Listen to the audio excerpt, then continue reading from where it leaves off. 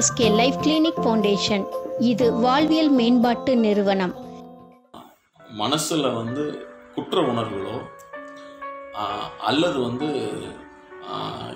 நமக்குள்ள வந்து கசங்கக்கூடிய உணர்வுகளோ மனசுக்குள்ள வச்சுக்க கூடாது. இதை இதை வந்து நம்ம நம்ம மனசுக்குள்ள அந்த குற்ற உணர்வுகள் நம்மளை அவங்க நினைப்பாங்க இப்படி நினைப்பாங்க அப்படிங்கிற ஒரு குற்ற உணர்வுகள் வந்துட்டாவே வந்து அது அது நமக்குள்ளே போய் அடிச்சுக்கிட்டே இருக்கும். அதை வந்து தூக்கி எறிஞ்சிடணும் நிறைய ஸ்டடி பண்ண விஷயத்தில் என்ன யாரெல்லாம் வந்து அந்த குற்ற உணர்வுகளில் போய் சிரிக்கிறாங்களோ அந்த குற்ற உணர்வு இவர்களே அதை அழிச்சிருது. இன்னைக்கு நம்ம பார்த்தோம்னா உலகமெல்லாம் அயோக்கியத்தனம் பண்ணக்கூடிய மட்டும் நல்லா இருக்கான்னு நம்ம சொல்கிறோம் நாங்கள் ஏற்கனவே இதை பற்றியான ஒரு ஆய்வு பண்ணோம். ஆனால் எல்லாமே நல்லா செஞ்சுட்டு இருக்கிற ஆள் வந்து கேட்டு போகிறான் எல்லா விஷயமும் செய்யக்கூடிய ஒரு ஆள் வந்து பர்ஃபெக்டாக இருக்கான். எல்லா தப்பும் செய்கிறான் ஆனால் கரெக்டாக இருக்க மட்டும் கஷ்ட கஷ்டப்படுறான். என்னன்னு கேட்டால் இது ஒரு பெரிய ஒரு ஃபிலாசபி நல்லா நேர்மையாக இருக்கிறவங்களுக்கு ஒற்றை பாதை தான் தெரியும். ஒரு பாதை மட்டும்தான். அதில் போயிட்டு அதுலேயே தான் வருவான். பிஸ்னஸ் நான் அதுக்காக வந்து மல்டி மல்டி பாத்தில் போகிறது தப்புன்னு சொல்ல வரல. மல்டி பேத்தில் போகிறது வந்து இயற்கைக்கு புறம்பானது சோசியல் சிஸ்டத்துக்கு மாற்றமாக இருக்கிறதும் அதை நான் ரைட்னு சொல்ல அதுவும் தப்பு தான் பட் வே என்னென்னா கோயம்புத்தூருக்கு வந்து ஒரே ஒரு ரூட் தான் எனக்கு தெரியும் அப்படிங்கிற விஷயந்தான் அதனால் வந்து இந்த இடத்துல நம்ம சிந்திக்க வேண்டிய விஷயம் மல்டி பேத் ப்ளஸ் பர்ஃபெக்ஷன் இதுதான் correct single path with more perfection அப்படிங்கிறது தப்பு. இது மட்டும் தான் எனக்கு தெரியும். இது மட்டும் எதுவுமே தெரியாதுங்கிற விஷயம் தான் தவறாக மாறிக்குது. அதனால் எல்லாத்தையும் தெரிஞ்ச இல்லை எல்லாத்தையும் நீங்கள் தெரிஞ்சுக்க முடியாது. ஒரு ஃபேக்ட்ரி ஆரம்பிக்கிறதுக்கு வந்து நீங்கள் ஏ டு ஜெட் வந்து எல்லா தொழிலும் கற்றுக்கிட்டேன்னு நீங்கள் தொழிலாளத்தே இருக்க முடியும். அதுக்கு தான் என்னென்னா ப்ரொஃபஷனல் கன்சல்டன்சி ப்ரொஃபஷனலிசம் ப்ரொஃபஷனலிசம் அப்படிங்கிற வேர்டு எங்கே வந்ததுன்னா இப்போ நீங்கள் வந்து உடம்ப வந்து எல்லாத்தையும் நீங்களே டாக்டர் ஆகி நீங்களே எம்பிபிஎஸ் எம்டி சர்ஜரிலாம் படிச்சுட்டு நீங்களே பண்ண முடியாது. சர்ஜரி படித்த ஒரு ஆள் கூப்பிட்டு கூப்பிட்டு சரி பண்ணிக்க வேண்டியது. அப்போ நமக்கு வந்து அவருடைய வாழ்க்கை ஐம்பது ஆண்டுகள் வாழ்க்கை எக்ஸ்பீரியன்ஸை நம்ம பயன்படுத்துகிறோம் இன்னொருத்தருடைய ஐம்பது ஆண்டுகளுடைய எக்ஸ்பீரியன்ஸை நம்ம பயன்படுத்துகிறோம் இதுதான் ப்ரொஃபஷனலிசம் இல்லை நானே செய்வேன்னா நீங்களே ஒரு விஷயத்தை செஞ்சு முடிக்கிறதுக்குள்ள ஸ்டூடெண்ட்டாக மட்டும் தான் இருக்க முடியும். குழப்பம். குழப்பம். அது முடிய முடியாது. நேச்சர் அதாவது நான் நான் என்ன கண்டுபிடிச்சோன்னா human life is like a matrix mathematical matrix நம்ம ஒவ்வொருத்தரும் ஒரு ஒரு புள்ளியில் வந்து நம்ம ஜாயிண்ட் ஆகிறோம். அந்த புள்ளியில் ஜாயிண்ட் ஆகிறத வந்து நம்ம கட் பண்ணியில் தான் நம்ம தனிப்புள்ளியாக மாறிடுறோம். சோசியல் சிஸ்டம் அப்படின்னு சொல்லக்கூடிய சமூக அமைப்புகளை வந்து மீறாமல் அதுக்குள்ளே போயிட்டு வரணும். ஆனால் இது நான் என்ன சொல்லணும்னா ரெஸ்ட்லெஸ் அப்படின்னு சொல்லணும் அமைதி இன்மை.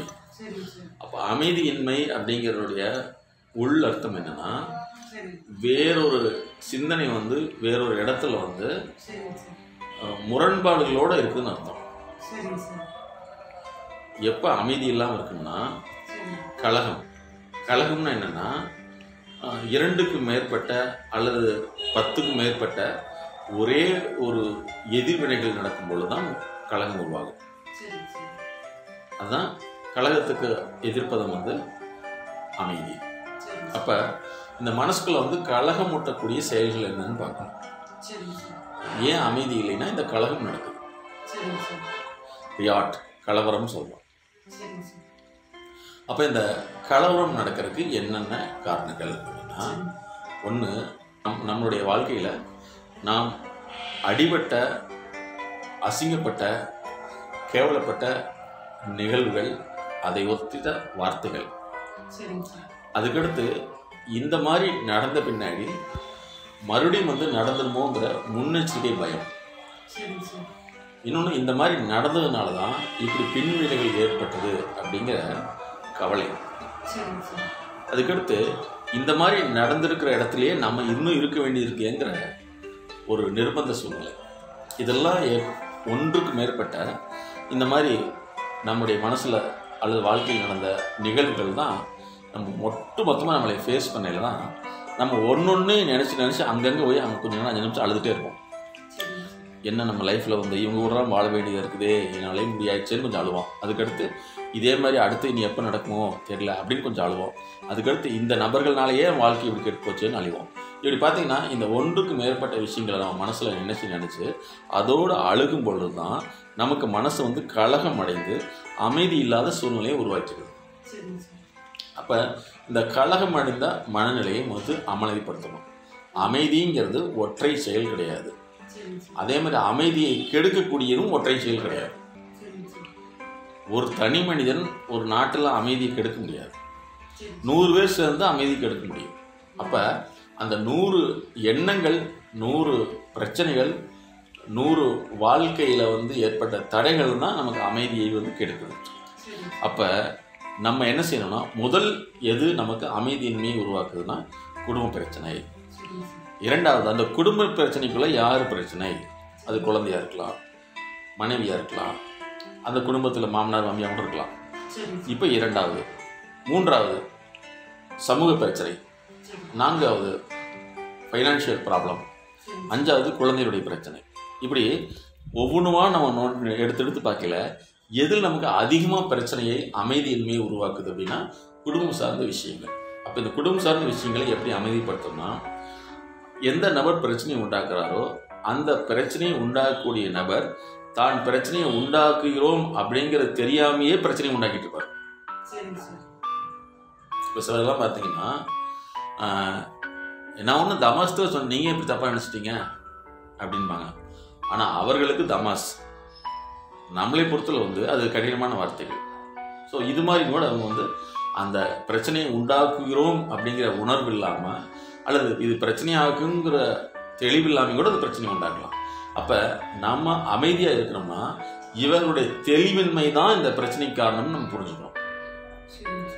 அதை புரிஞ்ச பின்னாடி மனசில் வந்து ரீகன்ஃபர்மேஷன் கொடுக்கணும். திரும்ப அதை உறுதிப்படுத்தணும். இந்த நபர் இந்த பிரச்சனையை உண்டாக்குறாரு. ஆனால் அவருக்கு தெரியல. இப்போ அடிக்கடி நீங்கள் பேப்பர்லையும் கூட பார்த்துருக்கலாம். ஒரு பிரச்சனையை உண்டாக்கியவர் வந்து மனது சரியில்லாதவர் அல்லது புத்தி சுவாதீனம் இல்லாதவர்.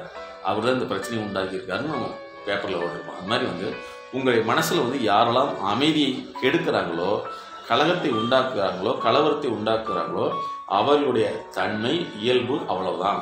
இவர்கிட்ட இதுக்கு மேல் நம்ம எதிர்பார்க்க முடியாது. எதிர்பார்க்கிறது நம்முடைய தவறுன்னு உணர்ந்துட்டோம்னா அந்த கலவரவாதிகளை பற்றிய சிந்தனை நம்ம மனசில் வராது. இந்த சிந்தனைகள் வரலினாவே நம்ம அமைதியாக இருக்க முடியும். அப்போ இந்த சிந்தனை வர்றது அப்படிங்கிறத தடுக்கிறது நல்லதா?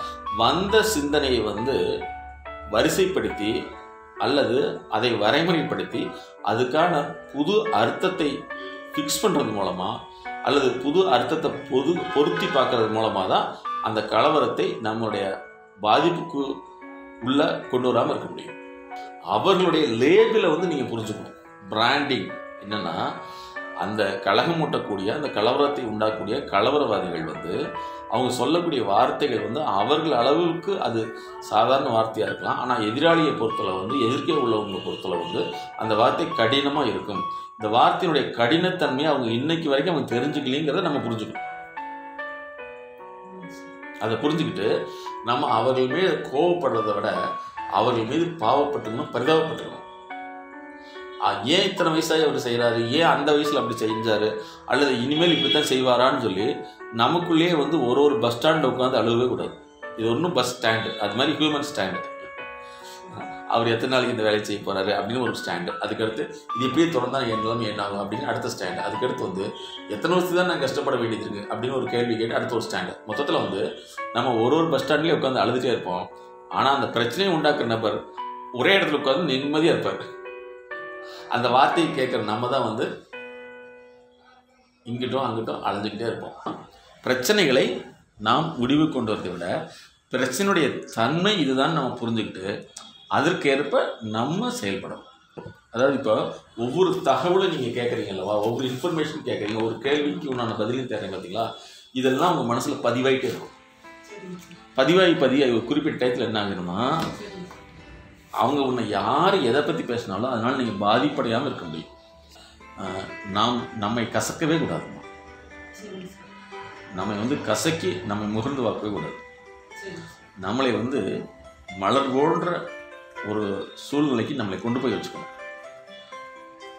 அவங்களுடைய நினைவில் கொண்டு போய் வச்சு நம்மளுடைய அந்த புனித மலர்த்தன்மை வந்து கெட்டுறக்கூடாது கெடுத்துடக்கூடாது பெரும்பாலும் வந்து நம்ம கெட்ட அறிவுகளை தான் சேமித்து வச்சுருப்போம். கெட்ட அறிவுங்கிறது நம்ம பாதித்த அறிவு நம்ம பிறர்னால் ஏமாற்றப்பட்ட அறிவு அப்புறம் நமக்கு கண் முன்னாடி இழந்தவர்களை பற்றி அறிவு.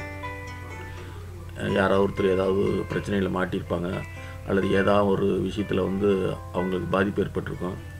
இந்த மாதிரி அந்த இழந்த அறிவுகளை மட்டுமே வச்சிட்ருக்கிறது தான் மிகப்பெரிய மன இழப்பு மன சீர்கேடு மனச்சிதைவு காரணமாயிரும். எப்போல்லாம் வந்து நம்ம மனசில் வந்து ஒரு தேவையற்ற எண்ணங்கள் அல்லது ஒரு கவலையோ அல்லது பயமோ அல்லது வந்து தேவையில்லாத சிந்தனை நம்மளை வந்து நிலை உழையக்கூடிய எண்ணங்கள் வருதோ உடனே நம்ம புரிஞ்சுக்கிட்டு அதுக்குண்டான இதை எடுத்துடணுமா? கன்சல்டன்சி எடுத்துக்கிட்டோம்னா அது அதோட தொலைஞ்சிடும். அந்த எண்ணங்கள் தொலைக்கப்பட்டு விட்டோம் இல்லைன்னா அது மறுபடியும் தேடி அடித்து அதுலேயே வாழ்ந்துட்டுருப்போம் மெயினாக வந்து நம்ம எண்ணங்களில் தான் வாழ்கிறோம் சிந்தனைகளில் வந்து நம்ம செயல்படுறோம். எண்ணங்களில் வாழுதல் சிந்தனையில் செயல்படுறோம். இந்த செயல்படுதல் அப்படிங்கிறது உள்ளுக்குள்ளேயும் கூட நடக்கும் மனசுக்குள்ளேயும் நடக்கும். வெளியில் வராமல் இருக்கும். மொத்தத்தில் வந்து எண்ணங்கள் தான் ஒரு மனிதனுடைய வாழ்க்கை. அதனால் அது நம்ம எதோட வாழ்கிறோம் மகிழ்ச்சிகரமாக வாழ்கிறோமா மகிழ்ச்சி வேணுமா மகிழ்ச்சிகரமான எண்ணங்களை மட்டும் அதை ஓட வைக்கணும் ரன் பண்ணணும். நம்ம வீட்டில் இருக்க ஒரு டிவியில் வந்து எந்த படத்தை ஓட்டுறோங்கிறது தான் முக்கியம். அந்த படம் வந்து நல்ல படம் மகிழ்ச்சிகரமான படமாக இருக்குதா? சரி. இல்லை பழைய துயரமான படம் விபத்துக்கள் நடந்த படம் அல்லது இந்த மாதிரி படங்கள் ஓடிக்கிட்டு இருக்குதா? இது இது சார்ந்த மன அழுத்தத்தை உண்டாக்கும் நல்ல படத்தை மனசை மனங்கிற டிவியில் நல்ல படத்தை ஓட்டினோம்னா மன மகிழ்ச்சி. கெட்ட படத்தை ஓட்டினோம்னா மன நெருக்கடி வரும். அதனால் வந்து மனசில் எந்த படத்தை ஓட்டுறோங்கிறத நம்ம தெரிஞ்சுக்கணும். நம்மளை அறியாமையே படம் ஓடுதுன்னா தான் உடனடியாக நம்ம வந்து கன்சல்டன்சி எடுத்துக்கணும். ஒரு தடவை வந்து நாய் கடிச்சிச்சுன்னா அந்த நாய் அல்லது அதுவோடு நாய் எப்போ வந்தாலும் நாய் கடிச்சிருமோ நாய் கடிச்சிருமோ பயம் வந்துக்கிட்டே இருக்கும். சரிங்களா? ஒருத்தர் பைக்கில் விழுந்துட்டாருன்னா பைக்கில் ஓரப்போலாம் வந்து இப்படி ஆயிருமோ அப்படி ஆயிருமோன்னு யோசிச்சிட்டே இருப்பார். அதே மாதிரி நம்ம என்ன செய்யணும்னா அந்த பழைய நினைவுகள் வந்து அந்த காலகட்டத்தில் அவர் செஞ்சது கரெக்டாக இருக்கலாம். அன்னைக்கு அவருடைய ஏஜ் வேற சூழ்நிலை வேற ரேஞ்சு வேற. இன்னைக்கு அவருடைய ரேஞ்சு வேற ஏஜ் வேற சூழ்நிலை வேற. அது மறுபடியும் நமக்கு வராது அப்படிங்கிறத மனசில் வந்து திரும்ப ரீகன்ஃபர்மேஷன் மறு உதவி மறு உறுதி செய்யணும். தானே சார் நீங்கள் என்ன செய்யணும்னா. மறு உறுதி மனசில் வரலைன்னா நீங்கள் இந்த நபருடைய இயல்புத்தன்மையை வந்து திரும்ப திரும்ப நினச்சி நினச்சி நினச்சி உங்களையே நீங்கள் வழி வருதப்படுத்திக்கிட்டே இருப்பீங்க. இல்லைங்களா? இப்போ மறு உறுதி தன்மை எப்படி உருவாக்கும்னா உ- எப்படி வந்து உங்களுக்கு உங்களுடைய பாதிப்புடைய எண்ணம் வந்து தொடர்ந்து உங்களை டிஸ்டர்பன்ஸ் பண்ணுதோ நீங்கள் முடிவு பண்ண விஷயங்கள் உங்களை வந்து இடைவினை அல்லது இன்டர்வென்ஷன் இடையூறு பண்ணணும். இந்த சிந்தனையிலிருந்து தடுக்கணும். அப்போ மறுபடி மறுபடியும் இந்த விஷயங்களை நீங்கள் மனசில் திரும்ப நினைவுபடுத்திட்டே வரணும். என்னது? அவர் பேசினா இவர் பேசிட்டு போகிறாரு அவர் திட்டனா இவர் திட்டு வாங்கிட்டு போகிறாரு அல்லது இவர் திட்டுறத அவர் வாங்கிட்டு போகிறாரு ரோட்டில் வகையில் ஒழுங்காக அவன் போகலைன்னா ரோட்டில் போகக்கூடிய சக பயணிகளை யாரோ ஒருத்தர் திட்டுவாங்க. அதே மாதிரி தான் வாழ்க்கை அப்படிங்கிறத புரிஞ்சுக்கணும். வெளியில் பார்க்கக்கூடிய ஏதோ ஒரு காட்சியோ பெரிய நபர்களோ அல்லது ஏதாவது ஒரு சப்தம் கூட உங்களை டிஸ்டர்ப் பண்ணுது அப்படின்னு வச்சுங்களேன். இந்த சப்தங்களை வந்து நம்ம இணைச்சு பார்க்குறதெல்லாம் டிஸ்டர்பன்ஸ் பெருசாகும் என்னென்னா உதாரணத்துக்கு என்கிட்ட ஒருத்தர் வந்தாங்க. அவங்களுக்கு ஆம்புலன்ஸ் சவுண்டு கேட்டாவே பயந்து அரண்டு போய் பத்து நாளைக்கு காய்ச்சல் வந்துடும். சரிங்க சார் சரிங்களா? இதை எல்லா இடத்துக்கும் ட்ரீட்மெண்ட் பார்க்குறாங்க. சரியாக இப்போ என்கிட்ட வந்த முன்னாடி நான் என்ன விஷயம் தான் ஒரு மூன்று மாதம் ஆறு மாதம் ஆச்சு. அவங்கள நான் வந்து கண்டுபிடிக்கிறேன் அதுக்கப்புறம் அந்த கண்டுபிடித்த அந்த மன பாதிப்பை பொறுத்து அதனுடைய அடிப்படையில் அவங்களுக்கு சைக்கலாஜிக்கலாக வந்து சில ப்ராக்டிக்கல் தெரப்பி கொடுத்த முன்னாடி அடுத்த ஒரு ஆறு மாதத்தில் ரெடி ஆயிடுச்சு. ஆனால் அந்த அம்மா இருபது வருஷமே இதில் கஷ்டப்பட்டுருக்கு ஆனால் இதை மாத்திரம் எங்களுக்கு ஒரு ஒன் இயர் ஆயிடுச்சு. எந்த விஷயம் வந்து உங்களுக்கு மன அலர்ஜி ஏற்படுத்துது அந்த விஷயத்தை நம்ம தவிர்க்க முடியாது. ஆனால் அதை வந்து நம்ம கையாளலாம். உதாரணத்துக்கு குளிர்காலம் வந்துடுச்சு பயங்கரமாக சளி பிடிச்சிரும் அல்லது வந்து தலைவலி வரும்னா இதை குளிரே இல்லாமல் இருக்கிறதுக்கு வாழ முடியாது. ஆனால் ஒரு சொற்று போட்டுக்கலாம். சரிங்களா அப்புறம் நோயுடைய தன்மையை வந்து பலகீனப்படுத்துறதுக்காக உடலுடைய தன்மையை வந்து சக்தி உள்ளதாக மாற்றிக்கலாம் welcome to MSK life clinic foundation சொல்ல முடியாத அழுத்த நினைவுகள் அடக்க முடியாத அழுகை கட்டுப்படுத்த முடியாத கோபம் தாங்க முடியாத கஷ்டம் தன்னை யாரும் புரிந்து கொள்வதில்லை என்ற ஏக்கம் அதிகமான பயம் தூக்கமின்மை உடல் சார்ந்த வழி இன்னும் இது போன்று பல சிக்கல்களிலிருந்து விடுபட நாங்கள் உதவுகிறோம்.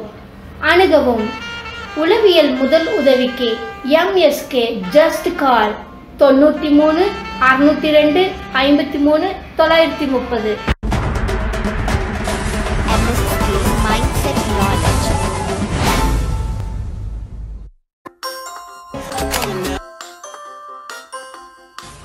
MSK Mindset Knowledge. MSK life clinic foundation இது வாழ்வியல் மேம்பாட்டு நிறுவனம்